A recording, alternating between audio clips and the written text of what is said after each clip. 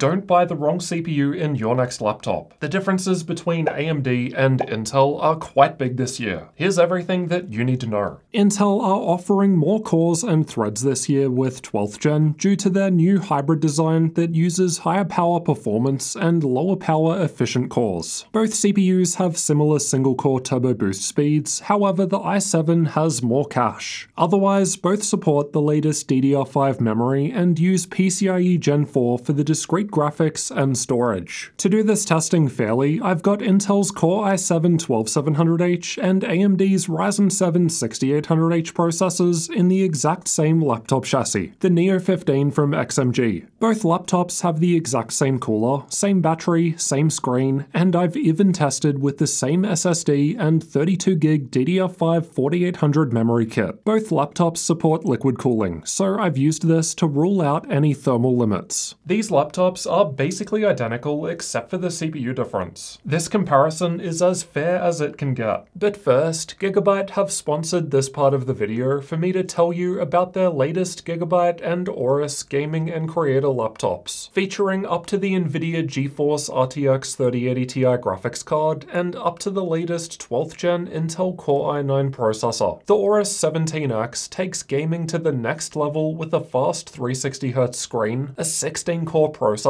and plenty of room for cooling to keep your games running smoothly. With an amazing looking 4K 16x10 OLED screen and top-end specs, Gigabyte's Aero 16 is perfect for content creators on the go. You can enter their You Wish We Design competition with a sponsored link in the description for your chance to win an Aero laptop. Back to the CPU comparison. The biggest advantage that AMD has over Intel is battery life. The 6800H machine was almost able to last for twice as long in my YouTube video playback test at 10 hours 23 minutes compared to 5 hours and 17 minutes from the Intel laptop. This is a massive difference considering other components apart from the CPUs are the same. And honestly, this will probably affect more people than the performance differences we're about to look at. Both of these laptops allow us to adjust the power limit of the CPU through the included control center software. More power equals more performance, but also more heat. Cinebench is a good place to start our performance comparisons because it covers both single and multi-core performance. I've tested with both CPUs power limited to either a 45 watt TDP, the base power level for both processors, or 80 watts, which I think better represents what most mid to higher end gaming laptops are capable of. They're scoring basically the same at 45 watts. The i7 was only 2% higher, but the gap gets larger with more power. Intel was now scoring 16% higher in multi-core with both running at 80 watts. Intel was always at least 17% higher in terms of single core regardless of the power limit difference. Although both laptops are basically identical except for the CPUs, the actual power drawn at the wall was higher on the Intel machine. Having the same TDP set in software doesn't necessarily mean they'll both use the same amount of power. It depends on how each platform actually measures TDP.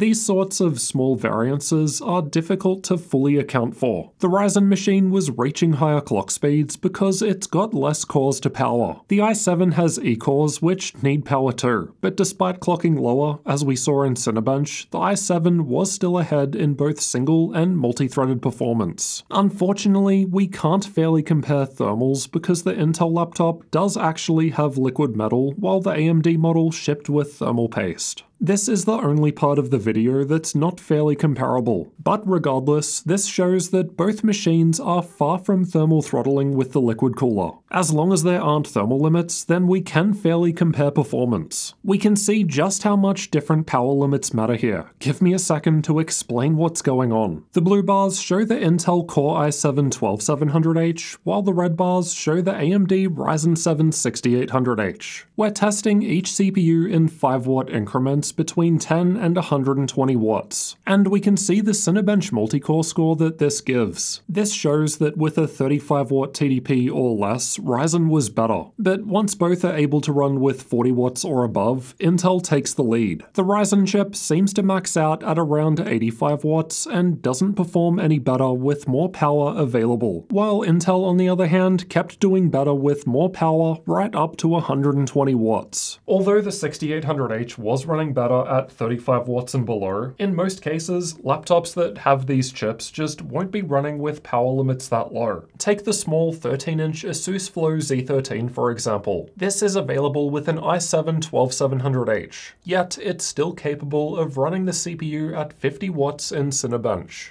Maybe if we're comparing super thin ultrabooks that happen to have these CPUs, it might matter. But the simple fact is, for most cases when we're talking about gaming laptops this size and even smaller, both laptops can run with much higher power limits than 35 watts. In thinner gaming laptops, 50 to 60 watts for a CPU-only workload is common, while most normal-sized 15-inch models seem to run around 80 to 90 watts. Realistically, we only see 100 watts plus in more enthusiast grade machines, so the performance difference will ultimately depend on the power limits offered by the laptop you're looking at. This is why I always mention them in my reviews. With that in mind, all other tests have been run with either the 45 watt base TDP or 80 watts to better represent a mid to higher range option. Unfortunately, I just can't test all apps at the 23 different power levels. Anyway, Blender was performing better on the 6800H in all three workloads with both power limited to 45 watts. Granted, it's a very small difference. At the higher 80 watt level though, the i7 had a larger 8 to 12% performance boost, as its additional cores start getting the power they need. V-Ray is another rendering workload, and the 6800H was also slightly ahead at the 45 watt power limit here too. With both running at 80 watts though, the i7 was almost 10% ahead. Not a super impressive difference considering the i7 also has a 25% higher thread count, though of course its E-cores are less powerful. Lower times are better with the Corona renderer. The i7 was only completing the task a couple of seconds faster with both at 45 watts. So again, basically the same. The gap gets larger in favor of Intel at the higher power limit though, with the i7 completing the same task 14% faster now. Lower times are also better in the Linux kernel compilation test, and this was run under Ubuntu 22.04 rather than Windows 11 like like everything else. The i7 was much faster with both CPUs limited to a 45 watt TDP in this one, completing the task 19% faster than AMD. Intel was then 34% faster with both running at the higher power limit, the second biggest improvement for Intel out of all workloads tested. LLVM compilation was also done in Linux, and this test had the biggest difference in favor of Intel out of all workloads tested. With the 80 watt power limit, the 12700H was able to complete the task 36% faster. Quite a big difference. Either compilation tasks simply do much better than anything else I've tested, perhaps due to the cache differences, or Linux is doing better than Windows here. It's not all big wins for Intel though. 7-zip was used to test compression and decompression. With the lower 45 watt power limit in place, the 6800H was able to score 19% higher than the 12700H in decompression. However, Intel was better when it came to compression compression. AMD was still better in decompression at the higher 80 watt power level. However, the gap has closed and Intel isn't far behind. And Intel was also offering a 28% higher compression speed. Adobe Photoshop was about the same on either laptop with the lower power limit. The difference is well within the margin of error. The gap is a little bigger in favor of Intel at the higher power limit, but it's only a 5% higher score. Adobe Premiere also had basically no change with both running at 40 45 watts. And then the i7 was able to score 10% higher with more power. These sorts of creator workloads generally benefit from more CPU power, but this isn't a huge difference. The gaps in DaVinci Resolve were even smaller. Again, basically no change at the lower 45 watt TDP, while the higher power limit was just 4% higher with Intel. Lower times are better for Handbrake, as this is how long it took to export one of my 4K laptop reviews to 1080p. Again, only minor differences at 45 watts, with the i7 being a little faster. But the i7 has a much larger lead when it can get more power and was able to complete the task 18% faster with both running at 80 watts. Now for some Microsoft Office tests. Whether we're talking about Excel, Word, PowerPoint, or Outlook, for general Office use, Intel was always ahead. In some cases, it was close, but hey, winning's winning. I'm not a fan of Geekbench, but it's one of the few tests that also covers single single core performance. The i7 was around 12% faster in this regard. And again, like most other tests, the multi-core score improves far more on Intel once we give it more power. On average, out of these specific tests, Intel's Core i7-12700H was scoring 4% higher than AMD's Ryzen 7 6800H, with both power limited to their base power level of 45 watts. The Intel chip was winning in more tests than it's losing. Some of the heavy multi-threaded rendering workloads were slightly ahead on AMD, despite Intel having more cores and threads. This is because those additional cores need more power to run, and there's just less power here. With both instead power limited to the higher 80 watt TDP, the i7 was now scoring 13% higher in these same specific workloads. The 6800H was only a little ahead in one test now, 7-zip decompression. Otherwise, Intel was ahead in every other test. This is honestly a fairer comparison between the two if we're talking about gaming laptops, as most 15-inch and above machines should easily be able to run CPU-only workloads around this point. Basically, if you want the best CPU performance in both single and multi-threaded workloads, then Intel is the way to go, at least when running at higher power limits, which, let's face it, is what both of these laptops are capable of, and most gaming laptops out there for that matter. But AMD